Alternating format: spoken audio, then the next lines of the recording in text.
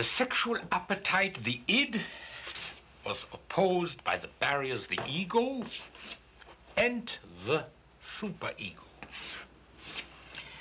When the directional flow of this energy is blocked by the ego and superego processes, it tries to break through the resistance and discharge itself in displacement activity or fantasy. And so, through fantasy, the rational process of the ego and the superego are undermined. And so to our subjects. Each of the women you will see has been a patient of mine.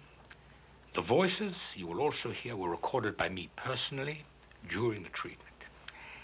Each one came to me with a feeling of guilt about their fantasy, and each was brought to an understanding by my own patient labors.